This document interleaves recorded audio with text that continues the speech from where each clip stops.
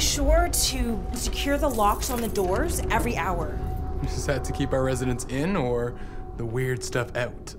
I was like, oh, this is going to be exciting. It turned out to be anything but. I'm just freaked out. This is pretty strange. We travel a secluded road. This woman appeared in front of my car.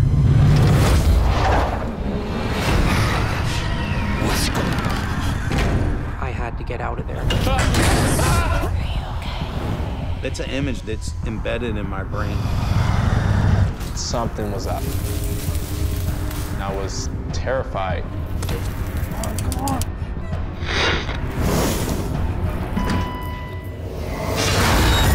I was terrified.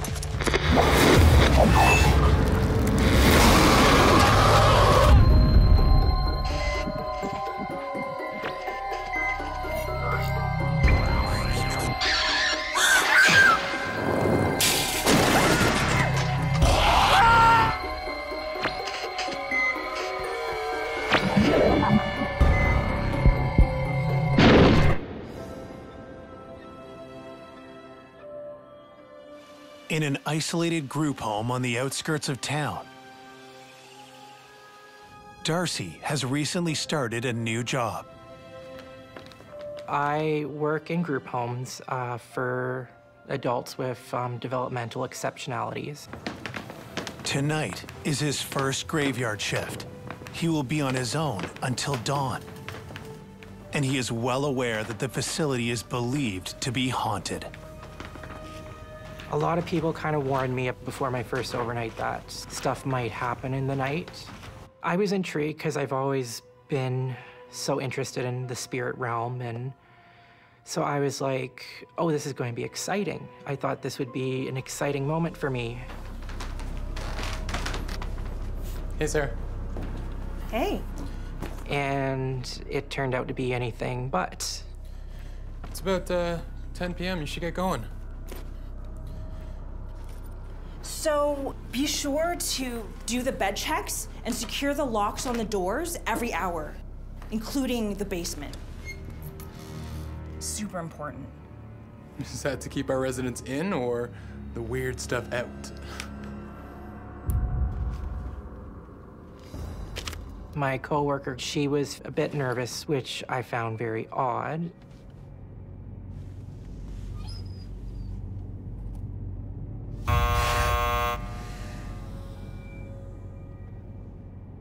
All of a sudden we hear the doorbell. No one else should be coming into the house right now.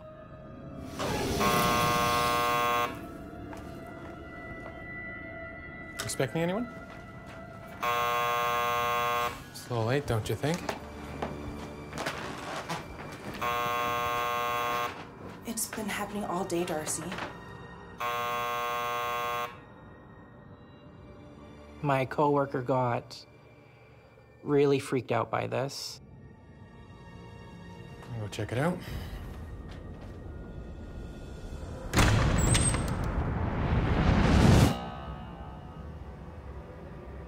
I peek my head out, and there's no one there.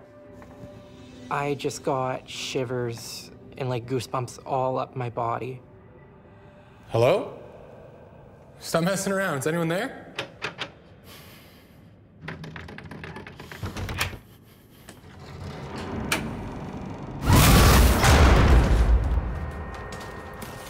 Had enough of this day. Good luck to you tonight, Darcy.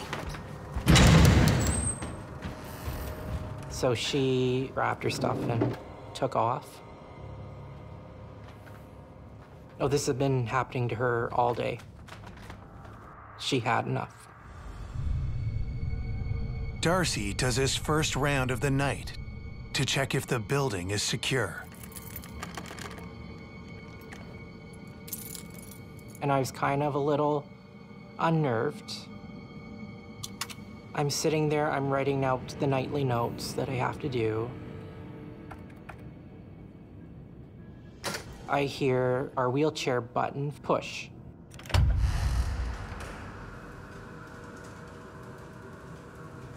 And it slowly swung open. and then it swung slowly closed, like it normally does.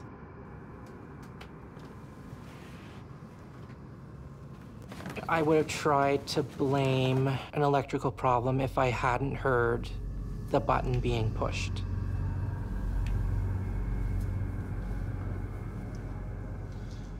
First the doorbell, and now the door is opening by itself. I start to get a bit nervous.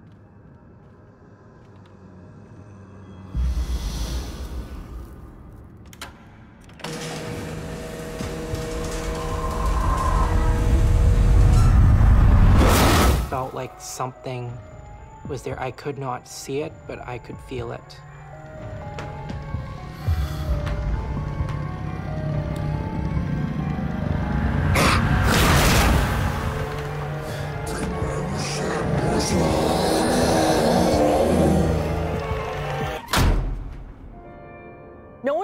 Specifically how entities seem to be able to ring doorbells and open doors, but we do know that what seems to be happening is that the entities may have some kind of mass, and that might be what's behind the ability to open up objects. This is just a fantastic way to start my first overnight. I'm kind of so taken back by what happened that I'm struggling.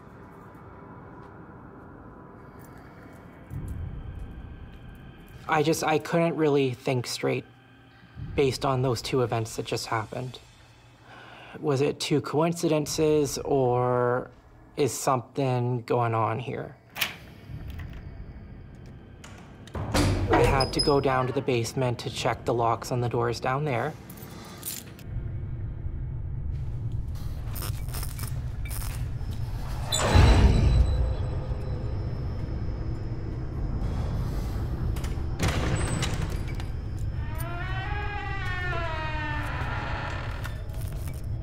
I turn on the lights, make sure the doors are locked.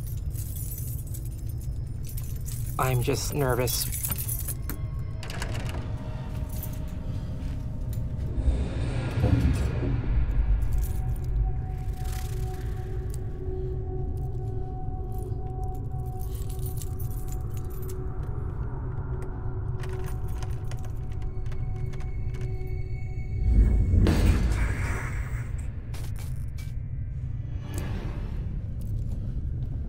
Felt like something was there.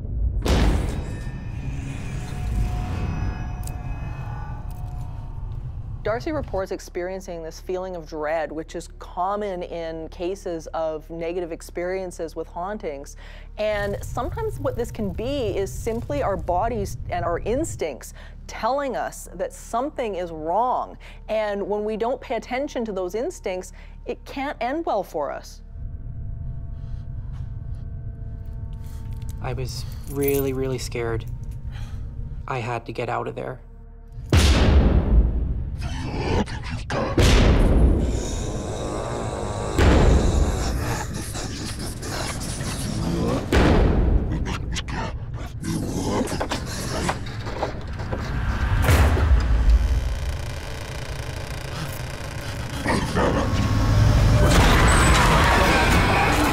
Something running at me.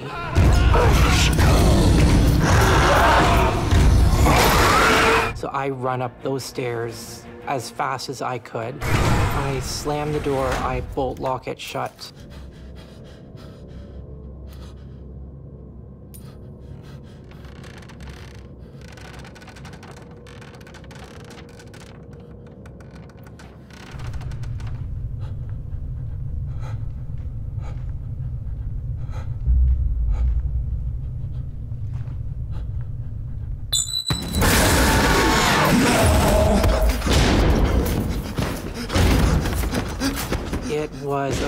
Aggressive banging. It was like two hands slamming against the door.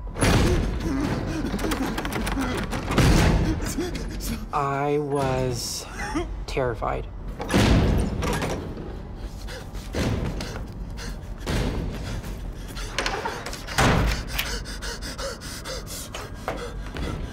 I'm still out of breath, just kind of flabbergasted as to what just happened. Can't call in sick for paranormal.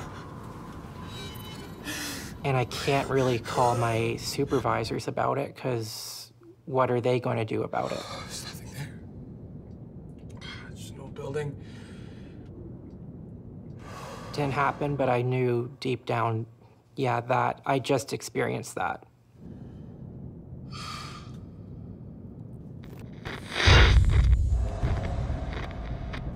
I just happened to glance over at the other computer monitor that had the camera system. And I see a man standing. Instantly think, oh, the person that I'm supporting must be up.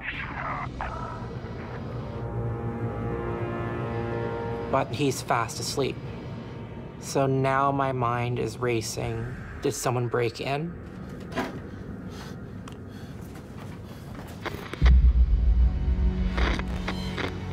My job to be responsible for all these people and make sure that they're safe.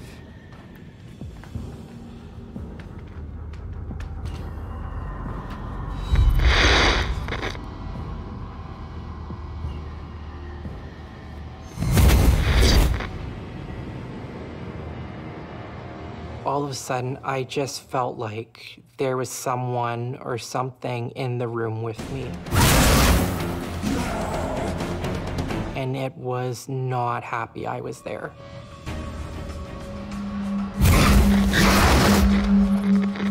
And then he vanished. I'm thinking this must be the spirit that's causing everything to happen. So I go back into the office and I look back at the monitor. And the man was still standing there. And what really scared me is he's looking directly into the camera. He's facing the camera.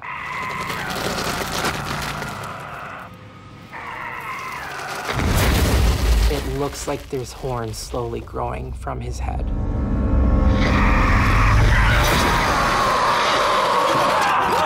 I jumped out of my skin. Was truly frightening.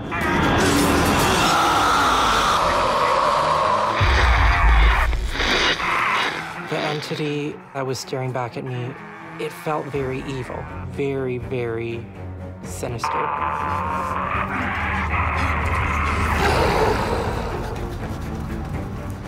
I was really, really scared, but it's my job to make sure that they're safe. And there's no one there. I'm just like, this can't be happening. This can't be happening. Something was there, I'd feel it.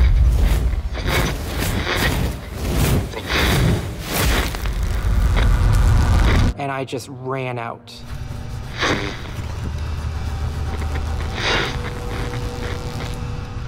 This scared me more than anything I've ever experienced.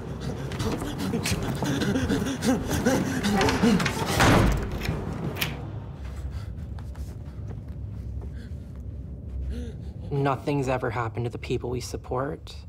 So it almost makes me think that this entity has something against the actual staff.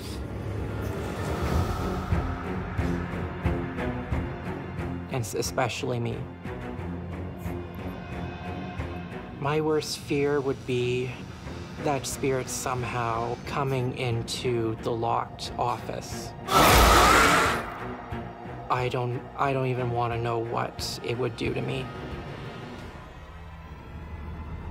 I lock myself into that room and I just wait for morning.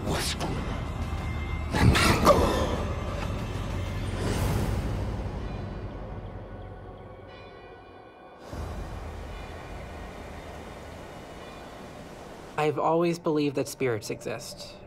And I've always believed that negative energy, negative entities existed. But now I can say I've experienced one. I was just like, this is not the place for me. I cannot be here.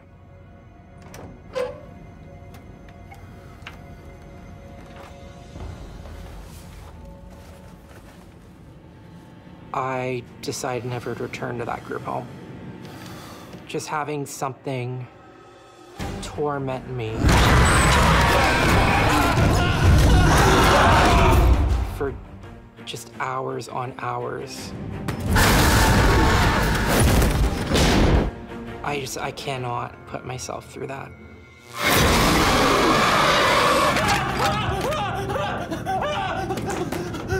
It was a night from hell.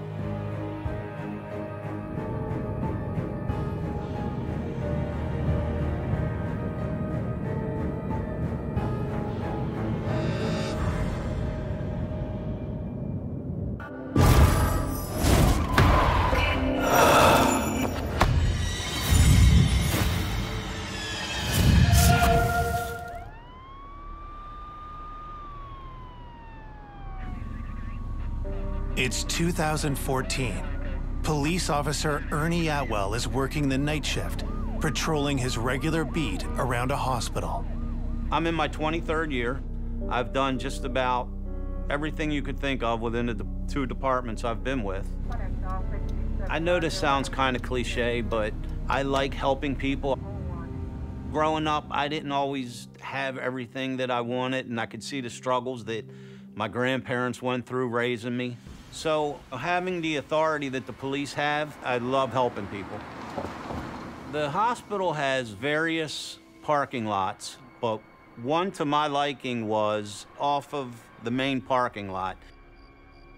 When you're a police officer, sometimes when you have computer work to do or things along those lines, you have to find areas that are safe, a little bit secluded, and where you can keep your train of thought together.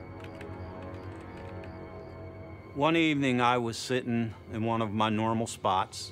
It was about 2.30 in the morning. It was a nice fall evening. I had all the windows down. That way I can observe and I can hear and see everything.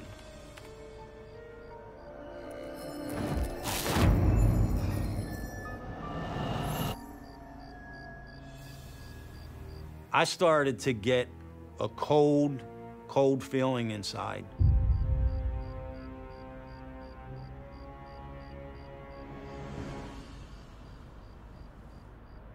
I just couldn't shake that dry burning in my chest from being startled by something that I couldn't figure out.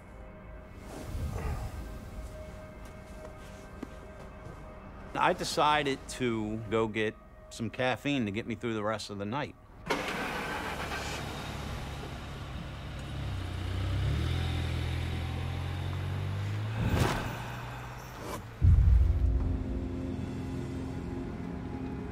Behind the hospital is a shortcut that we travel to get from one side of the city to the other.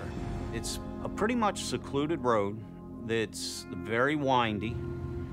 It's trees on both sides, and there's a bridge underpass. There's nowhere for someone to walk. It was very quiet that night. No radio transmission. There was no other cars on the road.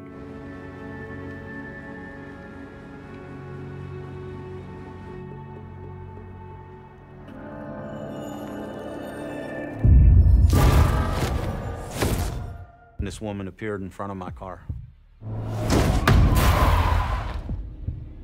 It was a split second, but that's an image that, that's just embedded in my brain.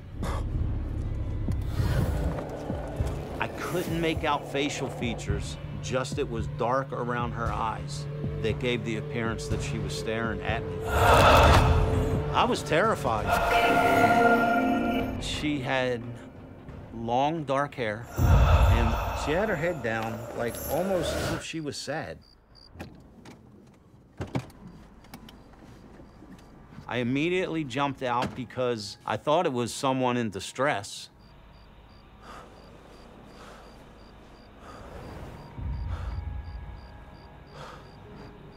There, there was no one there. But there was nowhere for her to go. The only place she could have went was straight through a wooded area, but there was no footsteps, no broken brush through the wood line. I had absolutely no idea where this lady went. So what was I gonna do? Call in, put a lookout for a lady that isn't there, that only I saw?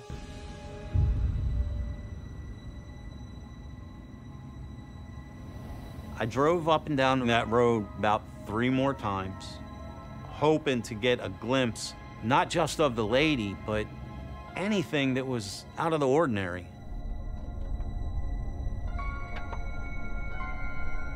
Nothing happened. So what I did until I received my next call for service, I pulled my car underneath the bridge underpass. I just kept staring down the road, hoping to catch a glimpse of this lady.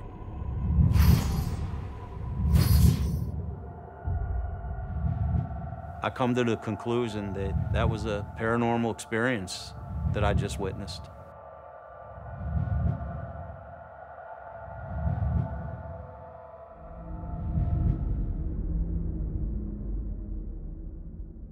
Spirits just want to be acknowledged, so they might appear to the living uh, in the way in which they died.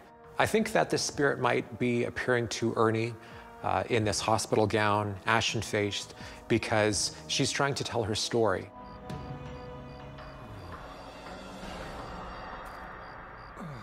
At the end of my shift after seeing the lady, my cell phone rang. I recognized the number as a number from the hospital.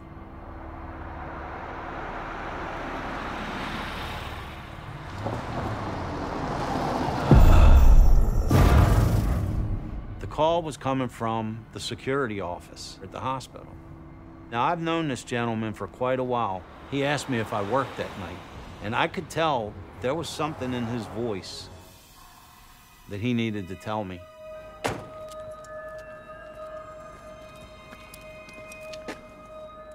So what happened last night? Well, you know when you're uh, sitting in your car to do your paperwork? Yeah? Yeah, I do that too.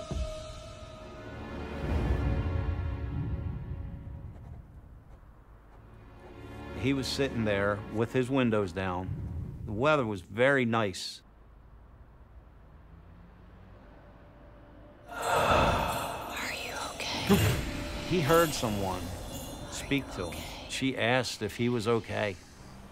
When he looked up, there was a lady standing in front of his car.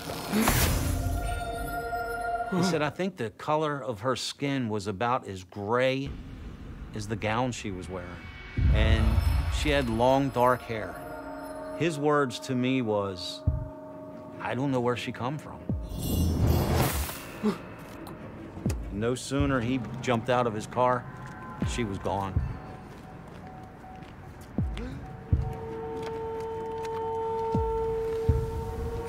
I can't explain what happened.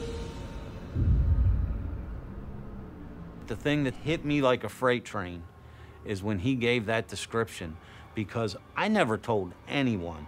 That's not something you normally run around and tell people that you're working with, that you just saw someone that basically vanished in front of your eyes. There have been similar reports. Really? I did try to comfort him a little bit, but I didn't tell him what I experienced. I decided to keep this to myself until I got more, you know, evidence of something that I saw. Two days later, Ernie has just delivered a patient to the hospital when he is stopped by a familiar face. Officer Atwell? Do you remember me? Sure. I remembered her from responding to her house. Her mother was having issues with her heart. Officer, can I tell you something? Oh, you were so nice when you helped with my mother, and I know that you won't make fun of me. Okay, so I was just in the hospital. Just lot. the day prior, she took her mother to a cardiovascular appointment. She decided to catch up on some emails. Are you okay? There was a lady standing in front of her car.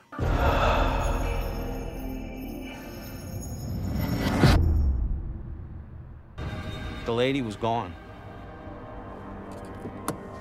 Based on where her car was parked, there's no human possible way someone could exit that parking lot that quickly. Like, I- it was like she was in black This lady described I jumped out of my car from see head to toe what she was wearing, the complexion of her skin, even the color of her hair. Everything matched up to exactly what I saw that night on that road. I know you probably think I'm crazy. No, no, no, no. No, I believe you. I do. And now I have two different people that do not know each other. But for some reason, they're coming to me with this. Maybe this is just the way the lady is trying to get in contact with me. I was just so overwhelmed that two people saw this lady that I saw. The two people that saw her saw her at the same exact hospital parking lot. The only difference was when I saw her, I saw her on the road. But somehow I knew it centered around the hospital.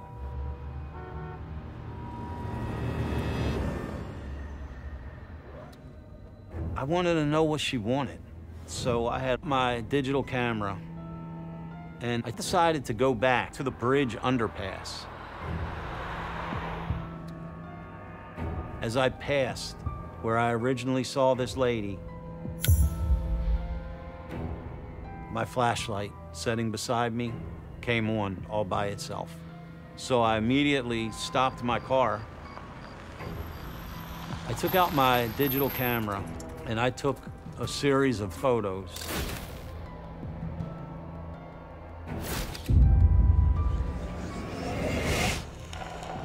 This smoky mist appeared. It actually looked as if someone took a puff of a cigar and blew it in front of the lens of my camera.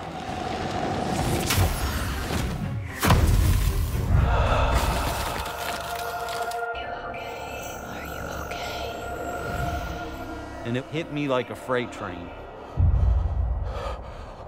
I think I know who you are. I remember a few years prior, a lady took her own life by jumping off that bridge that I was backed up under.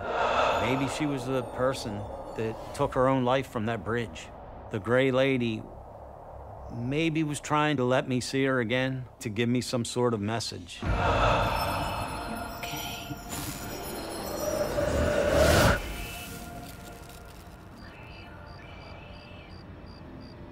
Any of this phenomena is going to appear terrifying to us.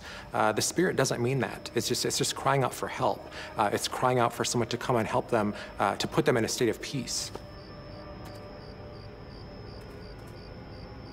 Now, there's a lot of skeptics in the world, and they will criticize you and they will deem that you're crazy because you believe in ghosts. But the one thing that I have on my side, I'm the biggest skeptic. You can be a skeptic and still believe. Just like police work, you have to have that evidence. You have to have that beyond a reasonable doubt.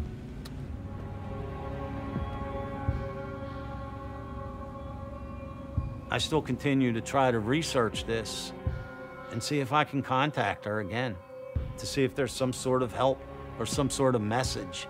Not a message necessarily to me, but I might be the one able to get her message to someone else. To this day, every time I need to travel from one side of the city to the other, I travel that same road, hoping to catch a glimpse of her, hoping to catch a glimpse of any type of evidence that she may still be there. And that's what I continue to do every day that I travel that road.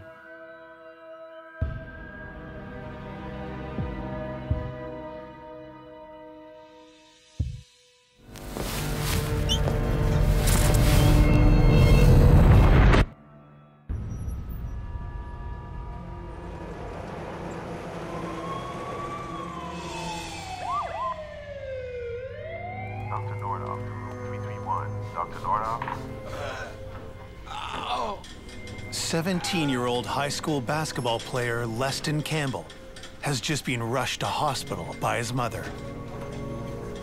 I was at a practice, and all of a sudden I felt uh, strong chest pain, and it lingered from my stomach, chest area, and then all the way around to my back area.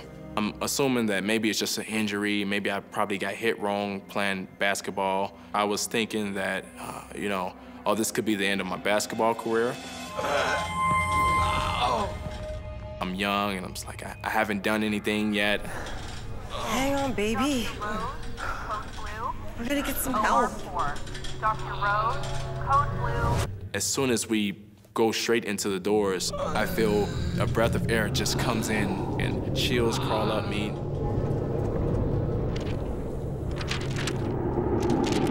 My mom didn't feel anything. I'm thinking this is pretty strange.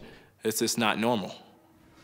Dr. Lopez, please report to cardiology. Dr. Lopez, the cardiologist.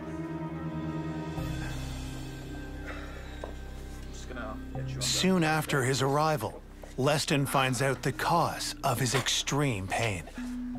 They said you have a uh, air socket behind your lung, and that's pretty much what's causing the sharp pain that you're feeling. I need you to do me a favor. Can you hold all this on, please? They hooked me up to IV. They actually put a oxygen mask over my face to try to uh, burst the air bubble. If the bubble doesn't burst, it'll collapse the lung. They wanted to keep me in the hospital for the night to see if it will progress. And if it progressed, then that's when they will have to do the surgery. When visiting hours are over, Leston's mom must leave for the night.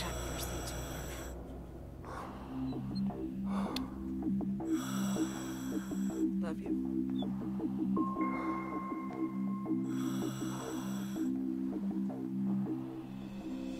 I'm just laying there with the oxygen mask over my face and then IV stuck in my arm and in the worst pain possible. And the worst part was that I was completely alone.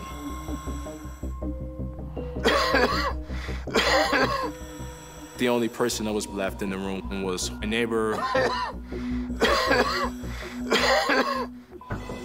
I would always hear him coughing.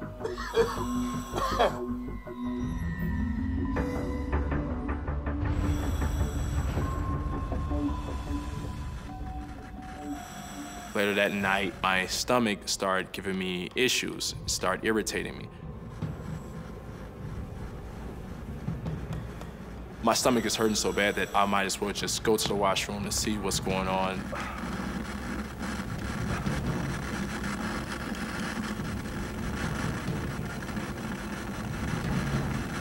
I did notice that my neighbor's TV was on.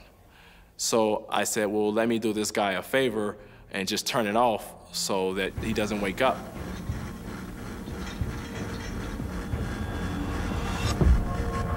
My neighbor wasn't there, and his bed was made up.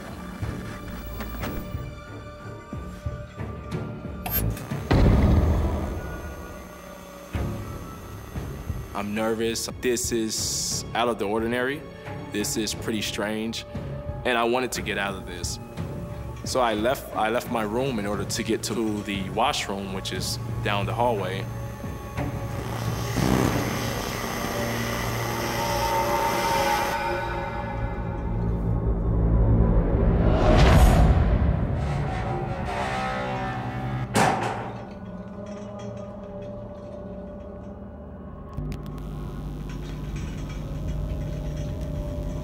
Go into the washroom, there were flickering on lights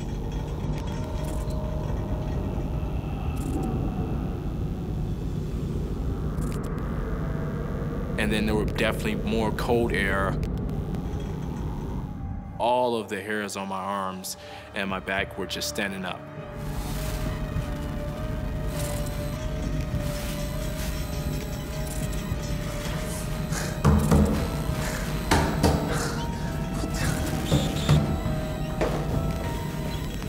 I never shut the door, and the door was closed. The door didn't open, I'm I'm just freaked out.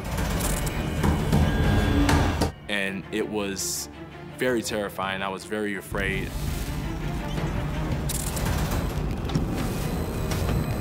I need to go find someone.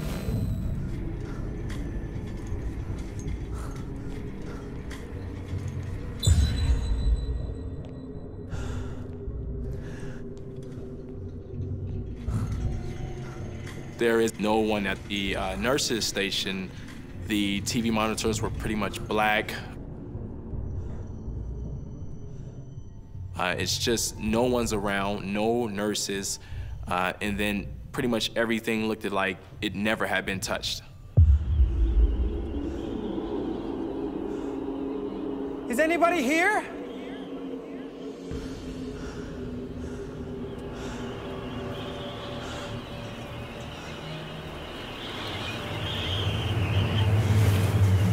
I start to get that feeling of that cold air again.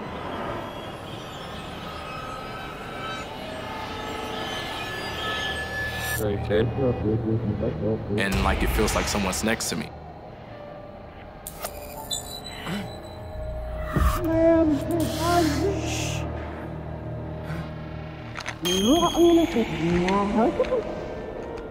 I'm just freaked out and it's it's I'm scared and terrified.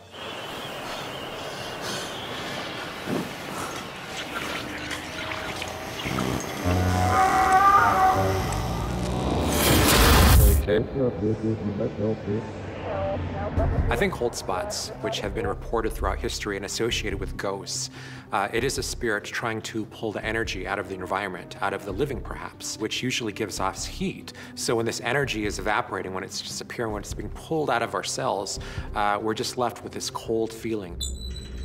I was just just terrified. Like, how do I get out of this place?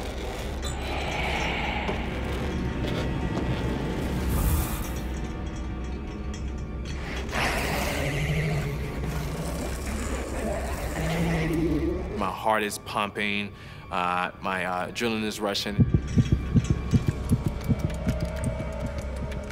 Maybe I can just get to another floor that's just normal.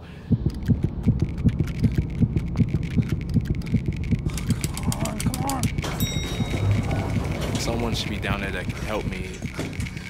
There should be nurses, doctors. Someone should be on that bottom main floor.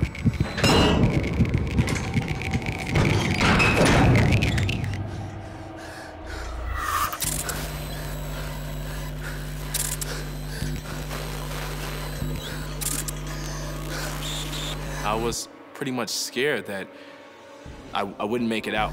I wouldn't make it back safe.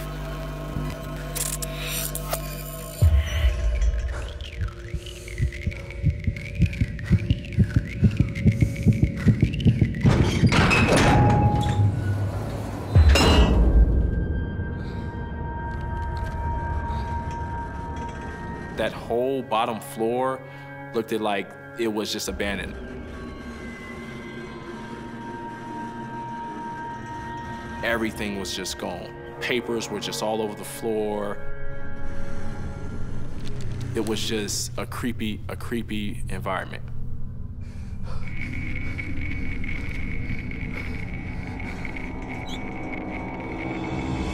Something was up. Something was very up. I'm thinking that, oh, well, maybe it could be a dream, but this dream is too vivid. This is too vivid, too much has happened. This is real.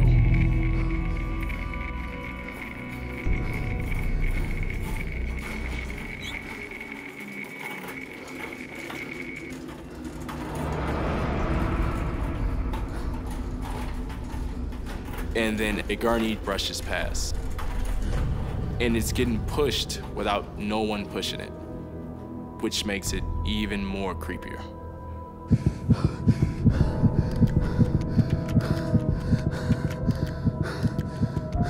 It's not just like a ghost. It's like you're in a whole nother dimension. Like it's a whole nother world where this is pretty much happening and then I'm able to see it and I'm able to feel it.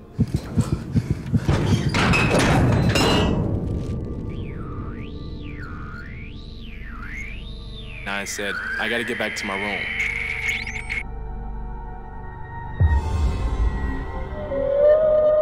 As I'm running to my room, it feel like I'm running slow. Uh, I feel like it's pretty much slow motion. And I'm just looking around and no one's there. I was pretty much scared that I, I wouldn't make it out. I was scared that I wouldn't make it out of this world or, or this dimension that I was in. I was terrified. uh, I figured, well, you know, no one can help me at this point. No one. There might have been a spirit portal nearby.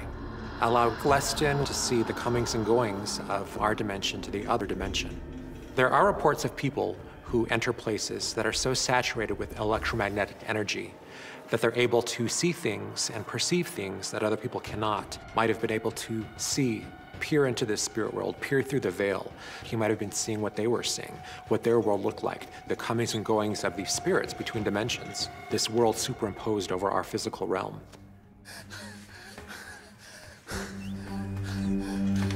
I actually get to my room. No one's there, it's just me. And then my neighbor, of course, is still not there. Please, Tammy, please, please. Go.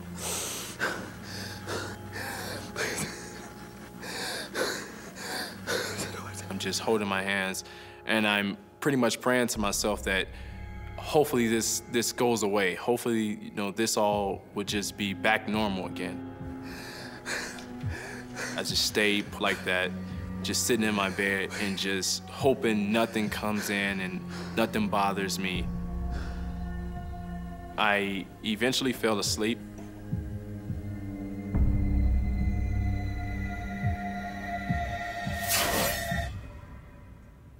Leston, Leston. How's my brave man doing this morning?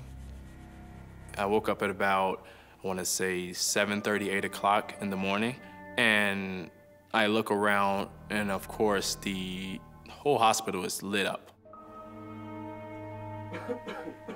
I did hear my neighbor, and uh, of course he was uh, coughing.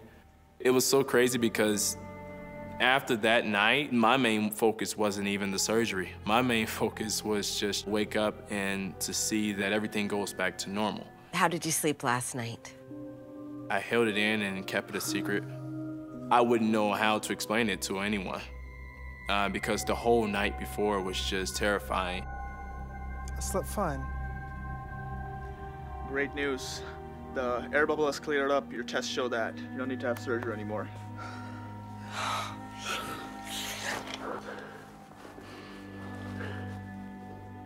It felt like uh, all the pain that was up here just dropped down and went away. Uh, I was relieved that everything was back normal.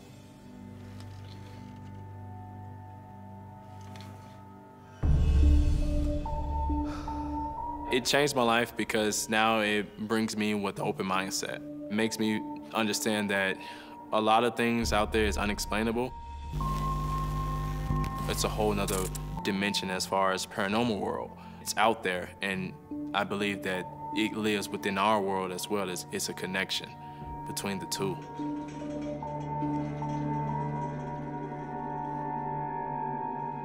If someone say they believe in something, you can't say, oh, I don't believe in that. It's gonna be instances where you might have to see it, and then it'll change your mind.